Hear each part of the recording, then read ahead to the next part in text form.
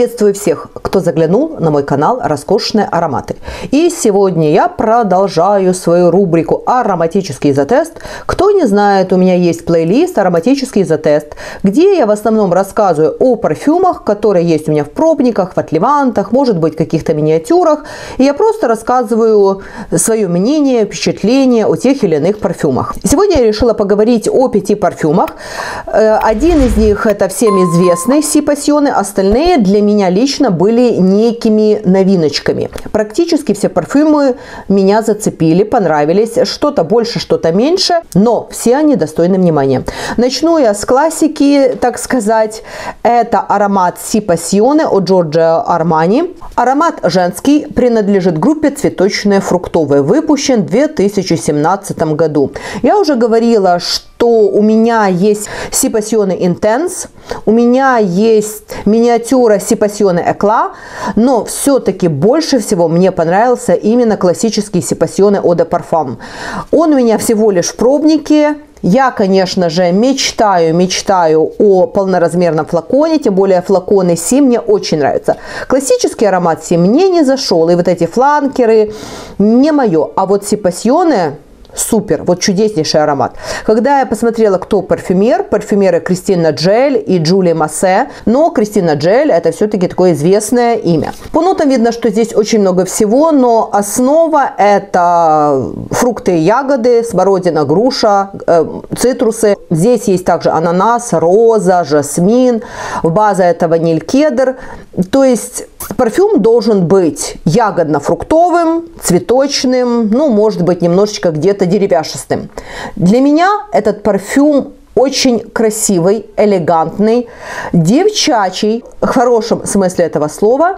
Из тех э, ароматов Сипасиона, которые я тестила, потому что там намного больше фланкеров, нежели три, мне Сипасьоны классический понравился больше всего. Если вам нравится направление Ланван Экла, если вам нравятся такие цветочные, яркие, но в то же время свежие, шлейфовые ароматы, то Сипасьоны, я думаю, вам понравится. Он очень нежный, он очень элегантный.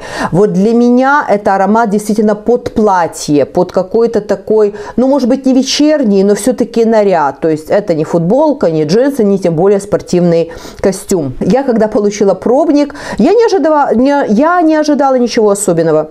Но когда нанесла, то это легкость, неприторная сладость, но в то же время чувствуется здесь и вот эта цветочность, и ягодность. Но все это настолько мило и симпатично. И вот главное баланс кисло-сладко, свежо, шлейфово, ярко, но не чересчур, вот этот вот баланс меня покорил. То есть один из самых политкорректных сипасьоны.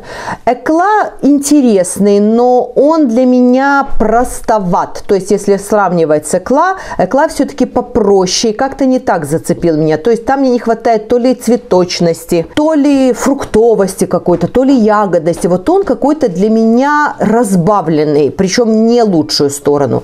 А вот здесь аромат просто чудесен. При всей всей своей красоте аромат каждодневный. То есть на каждый день вы можете одевать это освежающее цитрусово-сладкое чудо. Причем сладость здесь очень корректная. Это не сладость сахара, как я люблю говорить, а вот именно либо фруктов, ну может быть варенье, но без сахара, вот когда ягоды уже такие переспевшие. И этот аромат не уносится в некую приторность. К базе, к базе он, конечно, немножечко претерпевает изменения, вот эта легкость, эфемерность уходит, он становится, ну, может быть, немножечко теплее, менее свежим, но тем не менее не приторным и не удушливым. Вот мне понравился. Вот этот баланс меня просто покорил как я сказала, уместен везде, в любое время года, ну, может быть, кроме холодов. На холода я, например, не особо люблю вот такие яркие цветочные ароматы. Я предпочитаю либо что-то тягучее, либо сладко-ванильное, либо попослепательно сладкое, может быть, что-то деревяшисто-смолянистое, смолистое. Но вот цветы это не мое на холод. Как-то не так. Для меня это весна. Вот время этого парфюма, мне кажется, весна, начало лета, чудеснейший Сидит отлично, стойкость хорошая, шлейф очень-очень хвостатый. Даже если вы нанесете не очень много, но тем не менее вы его будете слышать. Поэтому для любителей женственности во флаконе, вот этот аромат я могу назвать сама женственность во флаконе. Вот этот аромат я могу смело рекомендовать брать без затеста, если вы не ожидаете чего-то там супер нишевого, чего-то там, я не знаю, какого-то эдакого. Нет, вот вы хотите цветочный, немножечко ягодный, немножечко цитрусовый аромат, такой что-то а классический, но очень при этом милый, симпатичный, каждодневный. Да, Си Пассионе это для вас, классическая версия имею в виду.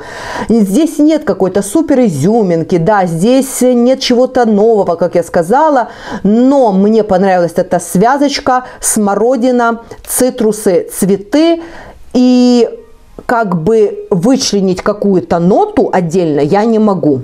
То есть для меня это такой фруктово-цветочный, ягодно-цветочный аромат. Все. Ну, может быть, еще ближе к базе какие-то деревяшечки. Вот такая деревяшистая база немножечко проскальзывает. Но эта база больше такого свежего, свежего, спиленного дерева. Вот честно скажу. Чудеснейший аромат, девчонки. Вот мечтаю о флаконе. Мечтаю о флаконе. Очень он мне понравился. Дальше переходим к марке. Абсолютно новинка для меня. Это Humiki and Краев. Аромат называется Just, если по-французски я правильно прочитала. Меня пробничек. При заказе можно было выбрать один из пробников. Я решила попробовать эту марку, поскольку с этой маркой я вообще не знакома.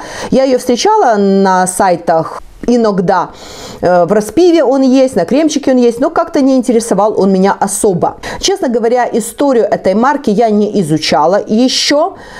Конечно, буду гуглить, узнавать, что за марка. Может быть, вы знаете историю этой марки, чья она, да, потому что если название мне перевело с французского, возможно, французское, но название Хюмики это мне что-то скандинавское, да, может, финское, может, какой-то, не знаю, какой-то такой холодной страны. Э, у меня ассоциация. И аромат этот женский принадлежит группе «Восточные цветочные», выпущен в 2009 году. То есть аромат старичок. В обзорах я практически вообще нигде не встречаю. Когда стала искать обзор, YouTube вообще обзоров мало на эту марку, на этот аромат вообще ничего не нашла. По нотам, вот по нотам, смотрите, здесь фиалка, смолы, мускус, цветочные ноты, да, еловая смола. И вот должно быть что-то цветочно-свежее. Если фиалка есть в нотах, это аромат какой-то свежехолодный, такой ледяной должен быть. Но, при, но тут же есть амбра и еловая смола, то есть что-то смоленистое. И вот этот аромат меня, ну, немножко поразил. Не скажу, что он меня влюбил в себя, нет, но поразил. Для меня такой, ну, не ближайший клон, а вот первая ассоциация это Juliet has a gun, not a perfume но они не похожи. То есть это то, что у меня просто как бы в голове появилось. Все, при первом затесте. Вот какая-то такая ассоциация, да, то ли вот это нота амбракс, то ли вот эти вот молекулы какие-то, ноты амбраксана, я не знаю, чего-то вот это нового химического, но вот у меня Джульет Хазаган. Хотя на фрагрантике сравнения с Джульеттой вообще нет. Но потом, когда я стала разнашивать аромат, то вы знаете, не совсем здесь есть Джульетта. Джульетта для меня не меняется. То есть она вот звучит для меня одинаково. А вот этот аромат немножко меняется. Он звучит более, то более как-то свежо, вот как Джульетта, как-то молекулярно. Потом он к базе может становиться таким более цветочным. Иногда он становится цветочно-пудровым, иногда больше пудровым. И что мне здесь понравилось в этом аромате, какая здесь нежная, немножечко даже не запудренная, а подпудренная, вот легкая такая пудриночка есть у фиалочки. И композиция настолько сбалансированно сделана, то есть, э, ну, красиво сделана, ничего не выпирает, не, нету вот этого изменения, что начало, ой, такое свеженькое, классненькое, потом это все там может запудриться в бабушкину пудру, либо еще куда-то уйти. Аромат чудесный. Я честно скажу, у меня мнение двоякое. То есть я как бы хочу флакон именно вот этого аромата, да, но самое интересное, когда я его ношу, ношу, вкушаю, я хочу флакон. Но только я его отставила в сторону, какого-то такого желания купить флакон сразу у меня исчезает. Нахожу этот пробник, наношу, ой, классный, все, нужен флакон. Через какое-то время нет, уже не хочу. И аромат вот необычный. То есть, если, как я сказала, Джульетта это что-то такое свежемолекулярное, то здесь не совсем оно свежее. Здесь свежинка, но с вкраплением чего-то, я не могу вычленить чего. Но когда я глянула на пирамиду и увидела вот эту смолу, я думаю, что вот эта смола дает вот этой свежиночке некую пикантность. То есть получается свежий аромат, но с краплением вот этих древесных, смолистых ноток, но вот эта смолистость не яркая, она не такая, как, например, в бальзамичных ароматах, теплых, слышится прям как разгоряченная смола. А вот здесь вот эта смола, ну, как я не знаю, в кубике льда, что-то так, какая-то такая ассоциация. Но при этом аромат очень интересный, действительно стойкий, шлейфовый, неординарный. И еще раз повторюсь, по настроению это Джульетта Ноте Парфюм. Но если их сравнивать, они разные. Вот этот мне нравится больше на данный момент. Джульетта была моим фаворитом энное количество лет назад. Сейчас как-то она мне уже поднадоела. Есть уже другие фавориты. Но вот это пудровость, вот эта сладиночка, цветочность и вот эта смола дает такую классную пикантность этому аромату, что просто чудеснейший аромат. И здесь для меня самая носибельная, самая красивая, ну вернее не самая, а одна из самых красивых фиалок. Мускус здесь есть также, но мускус здесь очень приятный. Здесь скорее мускус дает вот эту, знаете, ноту чистоты, но не чистоты порошка стирального, да, или кто-то э, чистота с кондиционером для белья ассоциируется, с мылом, нет. Здесь мускус от просто чистый аромат, аромат чистого тела. Все, никаких э, других ассоциаций у меня нет. Очень понравился, девчонки. Вообще планирую продолжить э, знакомство с маркой Humiki Craft достойная вещь, но вот эти ароматы, я так понимаю, относятся к какому-то нишевому сегменту, поскольку, ну, не во всех магазинах они есть, во-первых, во-вторых, цена, ну, не самая дешевая, и вот как-то я обзора практически на эту марку, не говоря уже об этом аромате, я ничего не нашла. Но достойная вещь, обратите внимание. Так, следующий аромат, девчонки и мальчишки, это Magnificent Gold от Yves Saint Laurent. У меня вот такая малюпусечка, это фирменный пробник. По-моему, здесь то ли 3, то ли там 2 миллилитра. В общем, очень мало. Но мне этого пробника хватит на очень долго, почему я сейчас расскажу.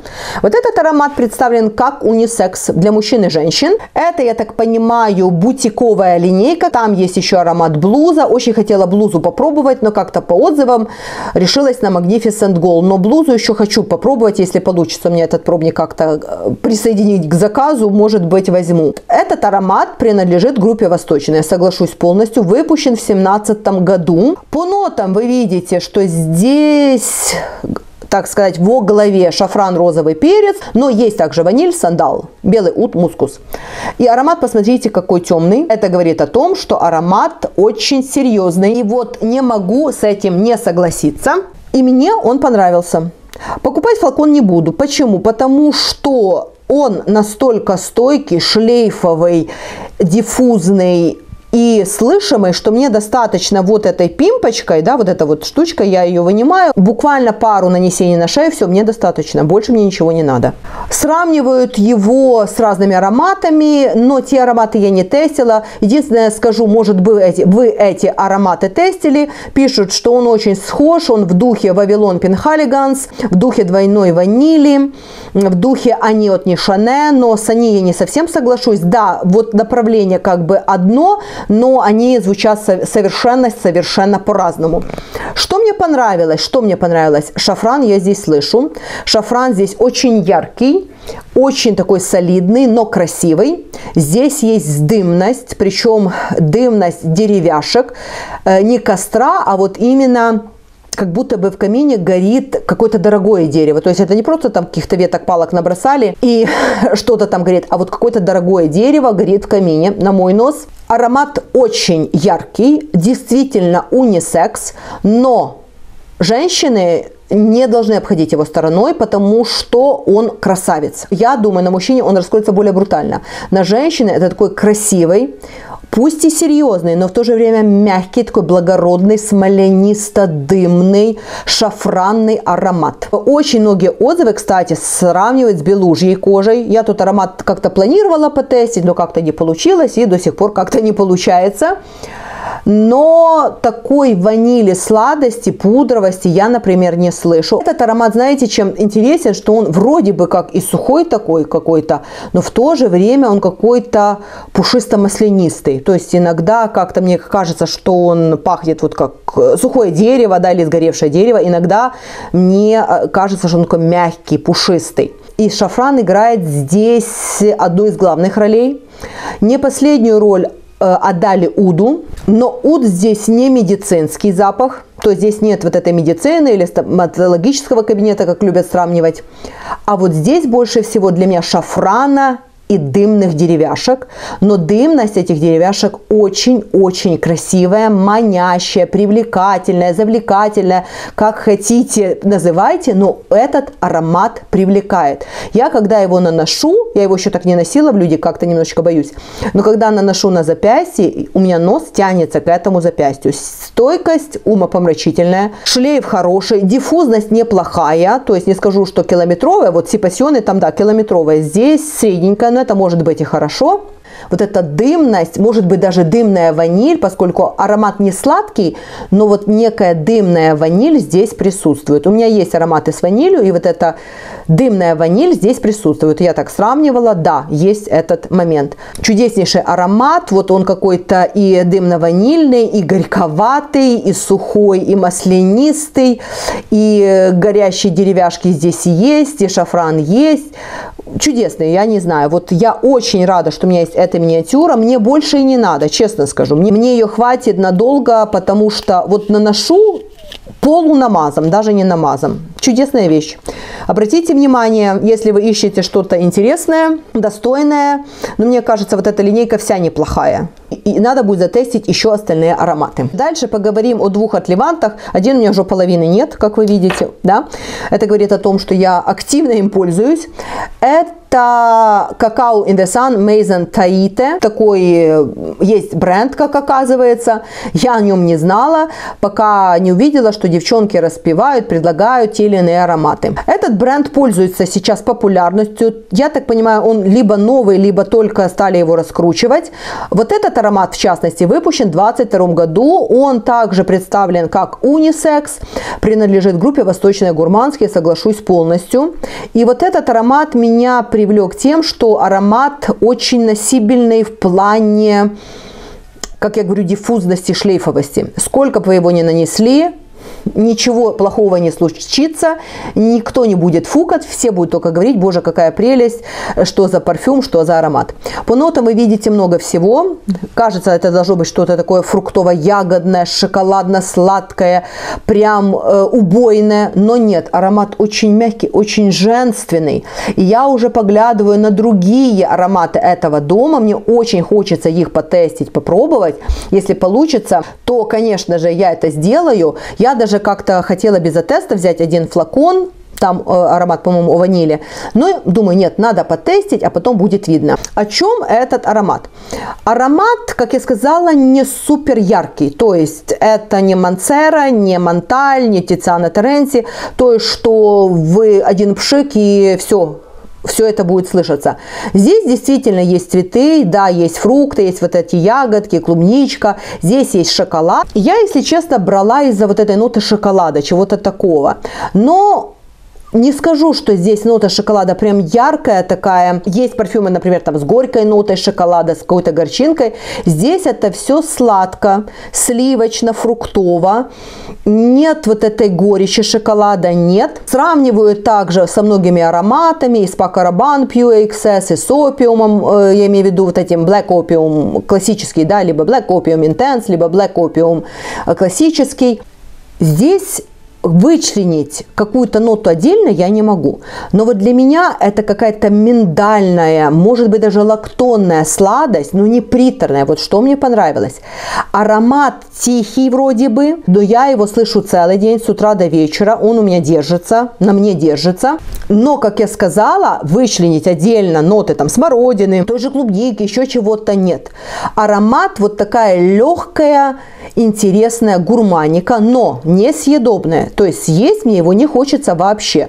Но я понимаю, что что-то такое а гурманское здесь есть. Я люблю такие ароматы гурманские, где не хочется там съесть этот аромат, вот как какой-то пирог или кур лимонный или там сладкая вата, нет. А вот когда это гурманика намеком, очень-очень классно, мне понравился. Отзывы на этот аромат очень разные. Когда я читаю отзывы, они настолько кардинально разные, что, э, что как бы и непонятно, о чем же сам аромат. Одни пишут одно, кто-то пишет совсем другое. Поэтому вот этот аромат, ну я думаю, ароматы вообще этой марки следует, наверное, так э, тщательно тестить. То есть вслепую покупать как бы не нужно, да. Я ожидала, например, что он будет более интенсивный, я думала, он будет более сладкий, я думала, вот это какао какое-то будет яркое-прияркое, но Получилось все немножечко не так, но это мне даже больше понравилось, честно скажу. Чудеснейший аромат на холода. Я думаю, даже на теплое время года он подойдет, он не будет душить. На жару не знаю, может даже и на жару будет хорош. Вот эта вот минималистичность в звучании мне очень привлекла. И эту марку хочу дальше продолжать изучать. И еще один отливантик на сегодня. Это Арансия Роса, лаборатория Ольфативо. Данный аромат выпущен в 2022 году, то есть новенький. Он также унисекс и принадлежит группе цитрусовые. Вот тут я соглашусь. Кстати, парфюмер Жан-Клод Элена ну, может быть, вы фанат этого парфюмера, поэтому обратите внимание. Но здесь очень мало, только красный апельсин, маракуйя, цветок апельсина, белый мускус.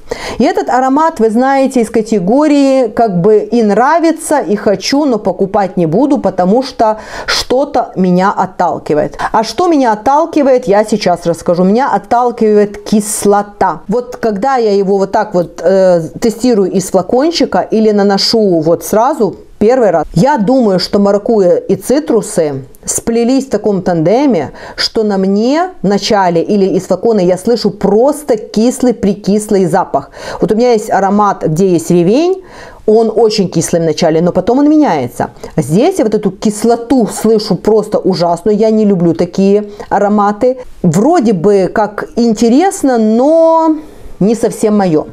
Но вот самое интересное, что когда уже аромат усаживается, он становится менее противным для меня, но шлейф у него красивый.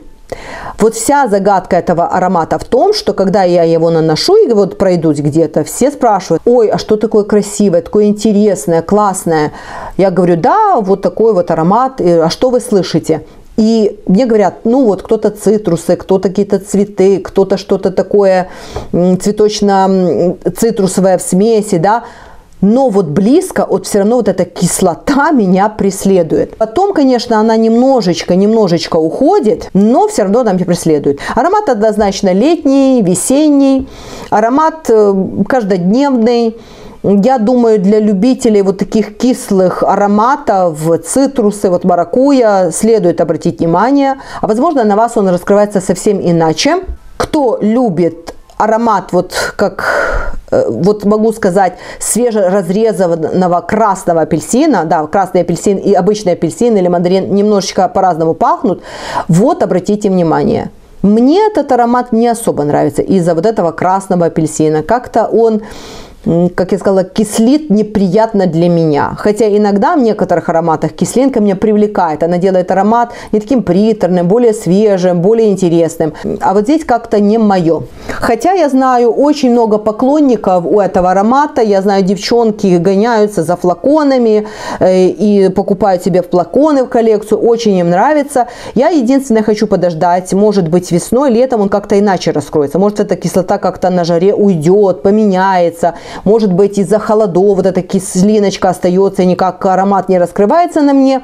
Но еще раз повторюсь, шлейф классный. Вот что мне нравится, если вы пройдете, я даже пробовала, наносила на блотер, делала такой длинный блотер, нанесла на блотер, и вот где-то вдалеке этим блотером машу, вкушаю аромат, ну класснючий шлейф, ну такой просто отличный. А вот близко, вот не могу я его терпеть, и все, вот хоть что хочешь, что и делай. Поэтому для любителей красного апельсина маракуи пожалуйста, обратите внимание, чудеснейшая вещь. Но тестите, может быть, вам вот эта кислиночка также будет не совсем приятна. Итак, девчонки и мальчишки, вот такое вот видео у меня сегодня получилось. О моих пяти э, пробничках от Левантах. Ароматы все чудесные, все ароматы рекомендую. Мне они все понравились. Если бы, как говорится, флакон подарили любого из них, я бы с удовольствием этот подарок приняла. Но что касается покупки, то хочу пока что только Си Пассионе. Вот почему-то он меня тронул. Ну, еще посматриваю на вот этот какао in the sun. Также мне заинтересовал, но я хочу попробовать еще другие ароматы этой марки. Говорят, там есть намного более интересные экземпляры. Может быть, вы знакомы, напишите, что там такое интересненькое еще есть. И вот уже когда определюсь, может быть, какой-то флакон из этой марки куплю. И вот новенькая марка Humike and Craft. И вообще как-то не была с ней знакома, также меня немножечко удивила и поразила. Ну, все, на этом буду закругляться. Поэтому, если вам видео понравилось, ставим пальчики вверх. Также не забываем подписаться на канал, иконочка вот где-то здесь. Но при этом не забудьте нажать на колокольчик, чтобы не пропустить новые видео. Напоминаю, подписка, колокольчик, лайк, комментарий к этому видео. Ну и также, возможно, вы еще что-то посоветуете. В частности, меня интересуют марки Humike and Crafts. Мизон Таита, если я правильно прочитала. Ну и также все остальные марки, представленные в видео, также можете писать своих фаворитов, ароматы, которые вам нравятся. Ну а на сегодня уже буду закругляться, поэтому всем пока-пока и до скорых встреч!